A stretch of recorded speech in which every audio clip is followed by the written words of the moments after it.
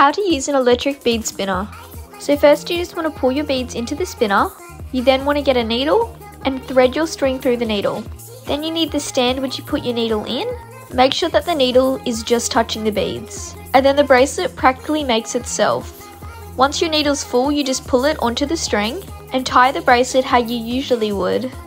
I then cut off the extra string and that's it.